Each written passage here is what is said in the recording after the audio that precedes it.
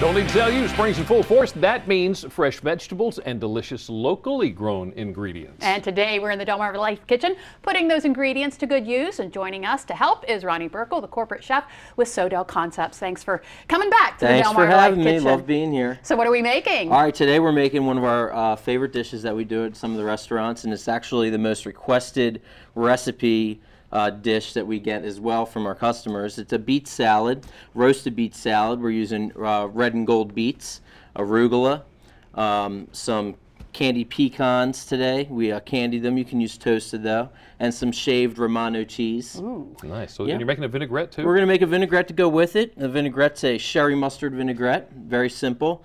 Brown sugar, um, whole grain mustard, sherry vinegar, and um, just a nice blended oil, olive oil and vegetable oil blend, and some uh, shallots. Okay. Nice. All right. Well, I, I have a funny feeling I'm making the dressing because I've got the, The Vitamix. the Vitamix here. You're set. These are great. Okay. So here you have shallots here, Uh-huh. which is a nice sweet onion, great in vinaigrettes, great shaved in salads. Do I very just throw everything in here? Yeah, just throw it right in. Okay.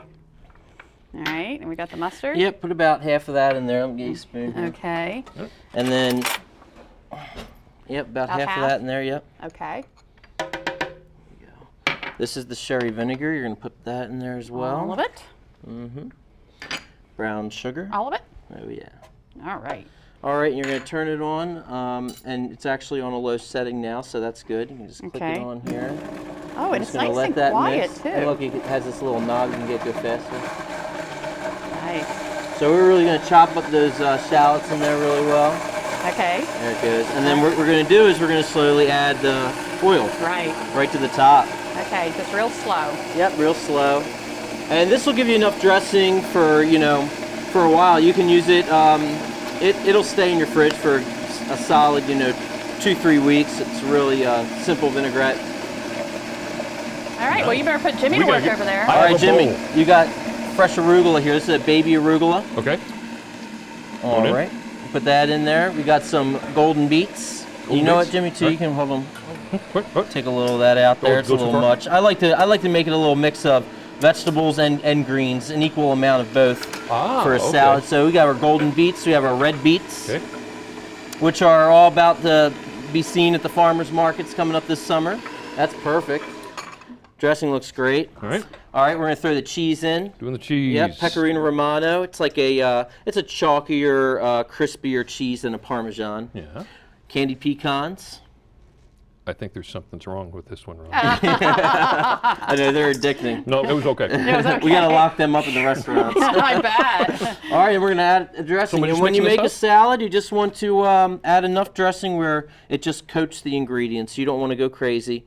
Uh, you want to be able to taste everything. You don't want to just taste Drown the it. dressing or Yeah. exactly or drown it. Yep. Okay. Okay, well, while he's mixing that, I'll let you know you can get this uh, this recipe by sending us a self-addressed stamped envelope to 1729 North Salisbury Boulevard, Salisbury, Maryland 21801. You can also go to WBOC.com, click on our picture at the top of the page, or give us a call 443-880-9116.